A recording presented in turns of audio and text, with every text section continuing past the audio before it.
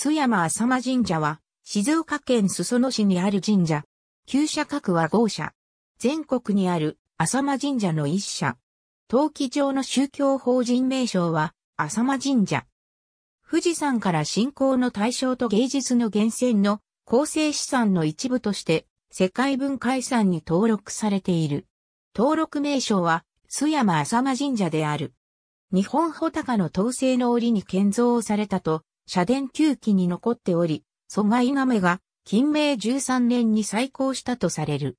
古くは、玉山と称し、須山口に鎮座する浅間神社である。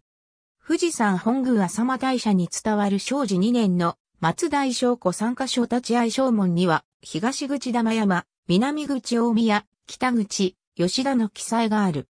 また、下記の通り、文明18年に、道教が書いた開国雑記に、須浜口として、記録として残る。須浜口というところより、富士のふもとに至りて、雪をかき踏んて、よそに西富士の白雪京踏ぬ心の道を神に任せて、この記録から、鎌倉時代から室町時代には、須山口が存在していたことが確認されている。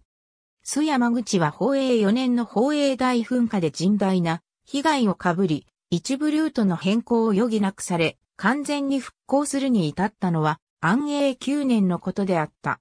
登山道や周辺の宗教施設も須山浅間神社が管理を行っていた。